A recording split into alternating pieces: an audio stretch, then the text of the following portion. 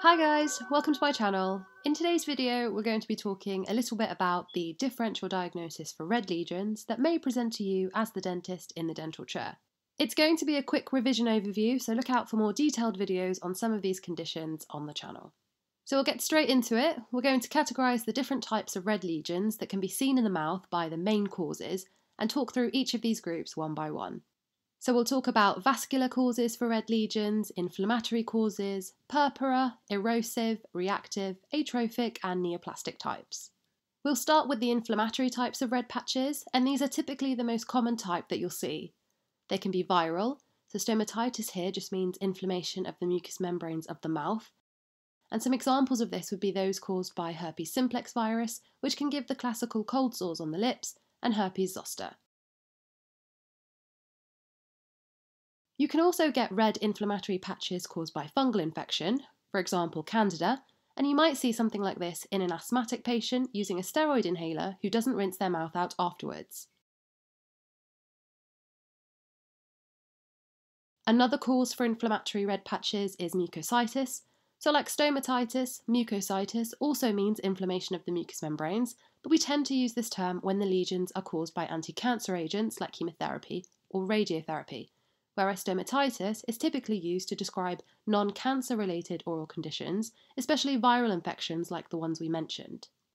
The last type of inflammatory red patch we're going to be talking about are the immunological types. So, for example, sarcoidosis, a rare autoimmune condition which typically affects the lungs and skin and can cause red inflammatory lesions in the mouth. Also, plasma cell gingivitis, which is quite rare. It's where you have generalised erythema and swelling of the attached gingiva thought to be caused by a hypersensitivity reaction to some kind of antigen.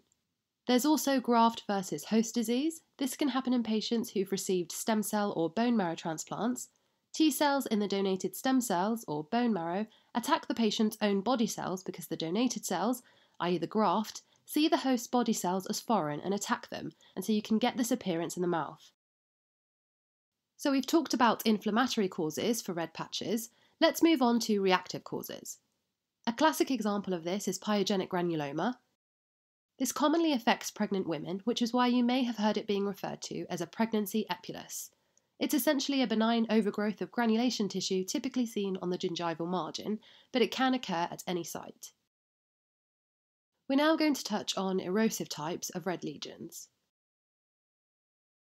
This can be as simple as a burn from heat, for example, burning the roof of your mouth eating a hot slice of pizza, or you might also see chemical burns in patients.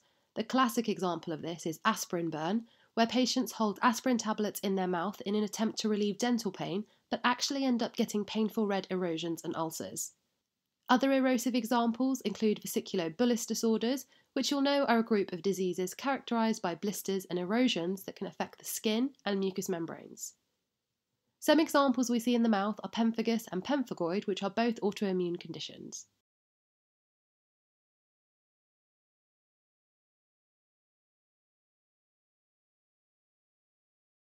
We also have oral lichen planus, which characteristically presents as white patches, but both the erosive and atrophic forms of the disease can give red lesions too, with or without white striations.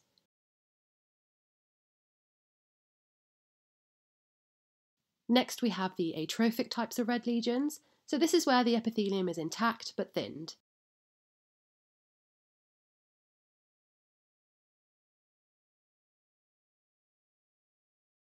An example of this is erythema migrans, also known as geographic tongue, which I actually have too, and it comes and goes. We don't know why it happens, but essentially you get these patches on the tongue that look like countries on a map that move around, hence the name. In technical terms, it's described as localized depapillation of the filiform papilla on the dorsum of the tongue. So, similar to the erosive type of lichen planus, atrophic lichen planus can give red lesions too. The cause of lichen planus isn't fully understood, but we know it's a cell mediated autoimmune condition affecting keratinocytes. Next, we have glossitis, which can be caused from iron or other deficiencies, and this too can give a red atrophic appearance to the tongue. Lastly, erythroplasia, which is a red patch that is pre malignant, so it's an important differential diagnosis for us to think about when examining a lesion and something we would need to biopsy.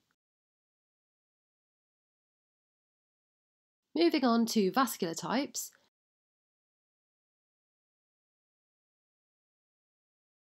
You might see lingual varices, which is just a variation of normal anatomy, commonly seen on the ventral side of the tongue.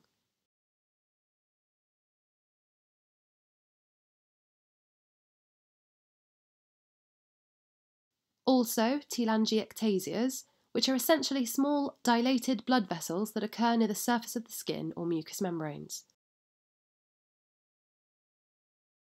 Hereditary hemorrhagic telangiectasia is a rare genetic disorder where these lesions can be seen.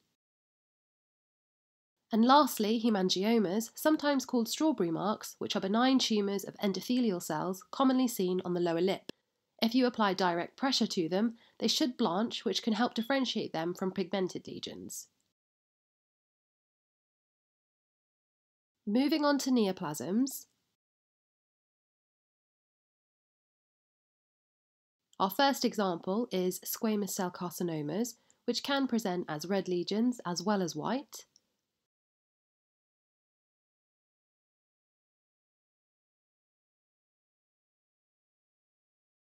Next we have the amelanotic melanoma.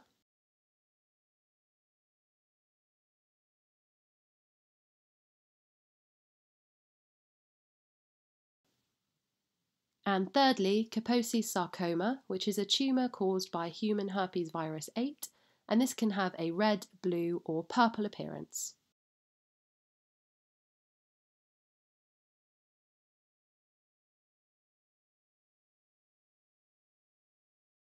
If you're still with me, the last group of causes for red lesions that we'll talk about today in this video are the purpura category, Purpura is the name given to the red or purple spots seen on the skin or mucous membranes due to internal bleeding from small blood vessels.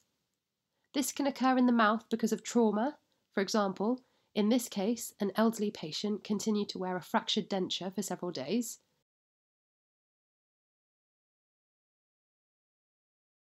Platelet disorders, such as thrombocytopenia,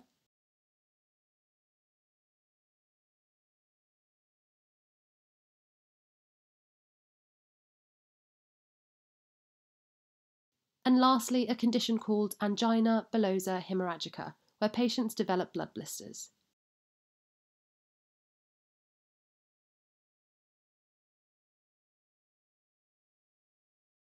If you've made it to the end of this video, well done. It's a lot of information to take in.